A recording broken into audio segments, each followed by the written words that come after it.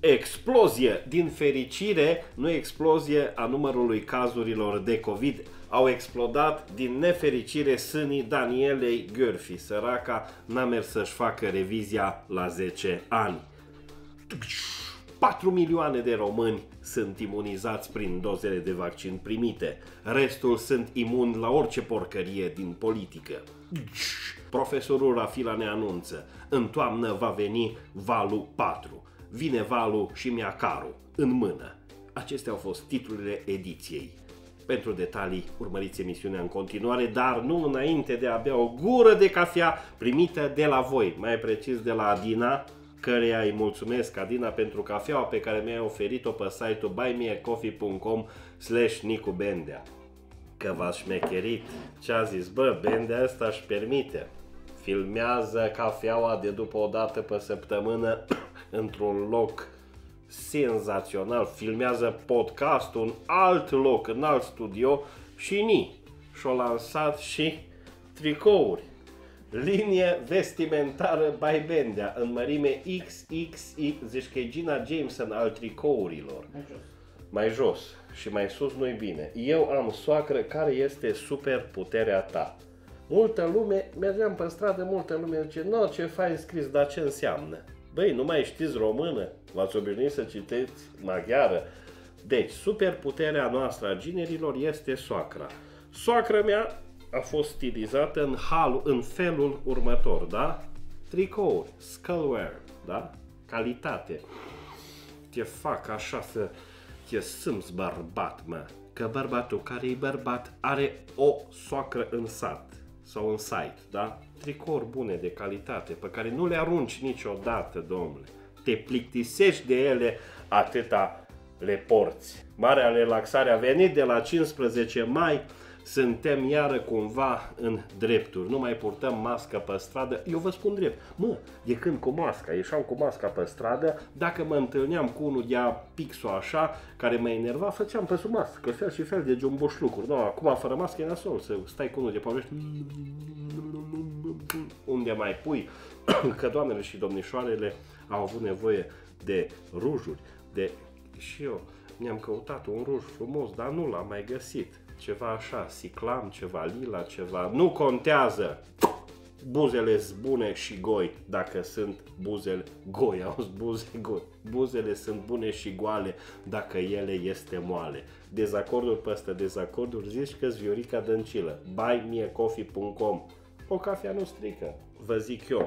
După relaxare, premierul Câțu a mers sâmbătă dimineața să-și ia o cafea. Și a zis așa, zice, a fost o cafea wow!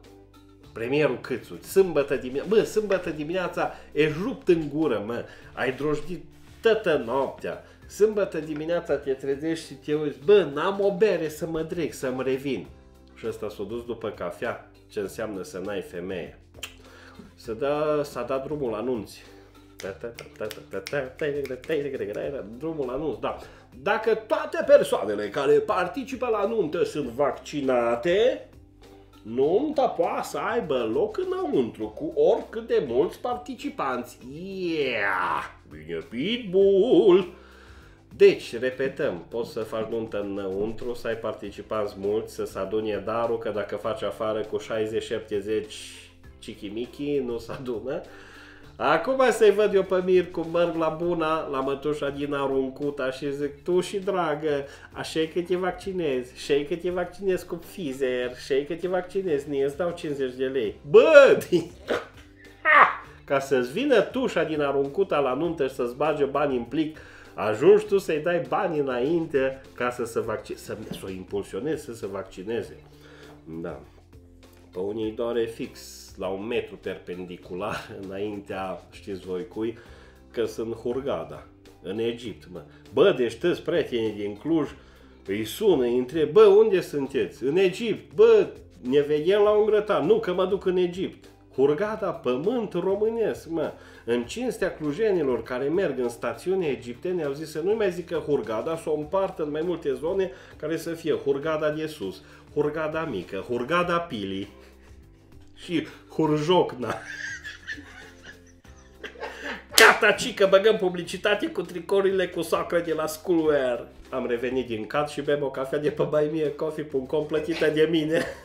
Că Robi Poptămaș nici de-a dracu nu dă.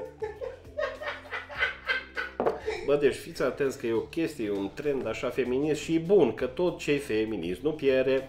Uh, în Italia o premieră, o premieră națională. Șefa serviciilor secrete este o femeie, de șeful serviciilor secrete este o doamnă. Vă dați seama că toate secretele s-au dus.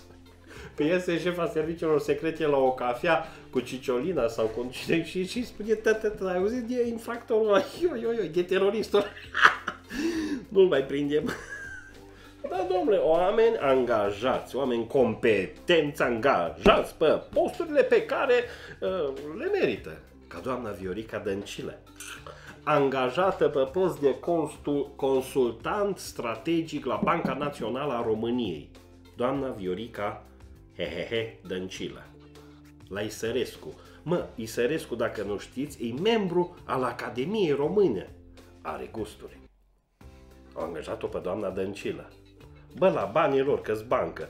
Nu puteau să angajeze o niepotă de 19 ani de europarlamentar, influențăriță pe Instagram. O zis domnul consilier Vasilescu, știți pe Vasilescu, că nu poate să așa. 85 de ani, consilier, bă. Ia, doamne, la 85 de ani nu-ți mai găsești jetul și ești, tu ești consilierul Băncii Naționale. Domnul consilier Vasilescu a zis nu că e foarte bună doamna Dăncilă pentru că deschide multe uși cu capul, că mâinile îi s-o ocupate cu bagaje, să o angajeze. să o angajeze Isărescu. Da, da, da, da, zice nu, va fi la departamentul economic verde sau ceva, departamentul de economie verde. Deci ori o trimite Isărescu la păscut, ori o trimite să-i prășească via. Știți că Isărescu are vie. Apropo, ce ar fi făcut doamna Dăncilă dacă era vie? Struguri și bani Dar cafeaua pe care ar fi trebuit să o primesc de la voi, nu o beau, dau o gust. Ha! Doamna Dăncilă, la Banca Națională a României, pentru prima dată când și-a găsit locul. I-a zis domnul Marcel Ciolacu, șeful PSD, Viorica, stai în banca ta. Și a stat în Banca Națională a României. Observați chestia asta, că de când e știrea că doamna Dăncilă e angajată a Băncii Naționale a României, șoșoaca a dispărut? A? Ca și când a revenit Hagi la Națională. Mai interesa pe cineva ce joacă Dan Petrescu, Ilie Dumitrescu? Nu. Noua șoșoacă și eterna Viorica este doamna Dăncilă, săraca de ea. Eu crezut că o să lucreze la BNR, să facă benere de alea și să apară poza ca în campanie.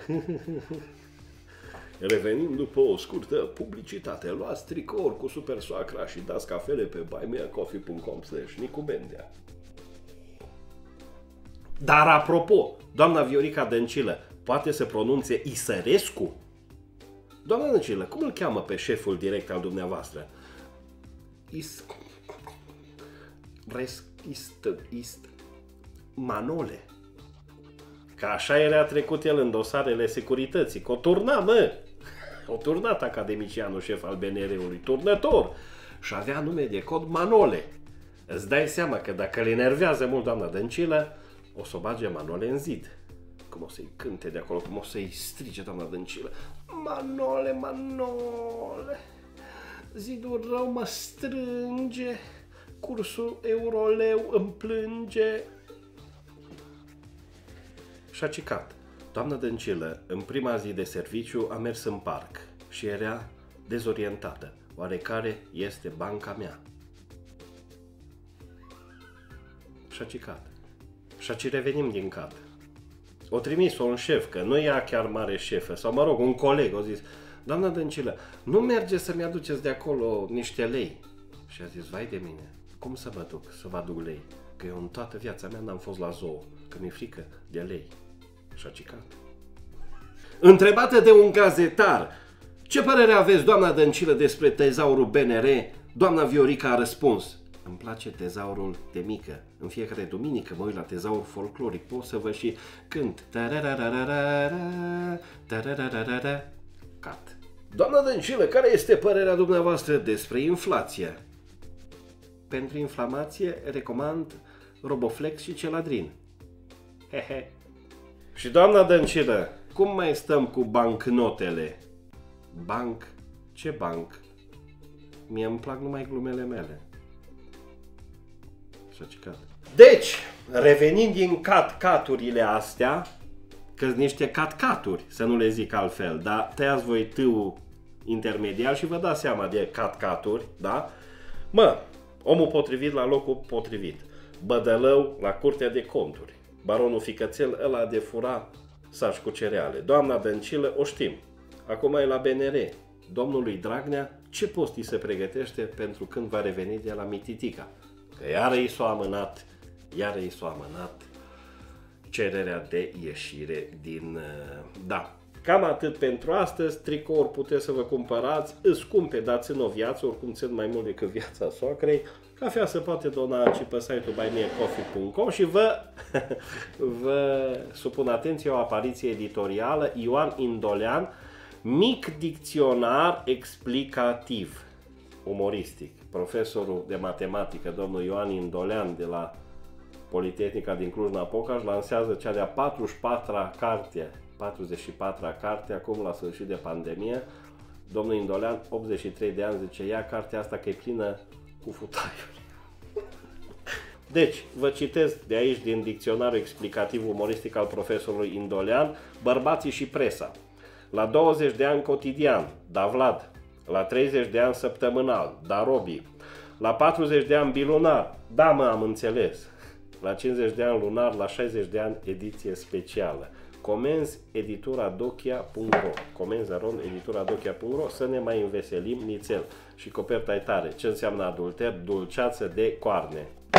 O dulceață a fost și cafeaua din această zi sfântă de vineri. Vineri 21. 21 să fie. Sfinții împărați Constantin și Elena. La mulți ani și dați de băut. Nu vă mai uitați la noi că aveți treabă. Pe săptămâna viitoare. Nu uitați de podcastul de miercuri și în general nu uitați de mine.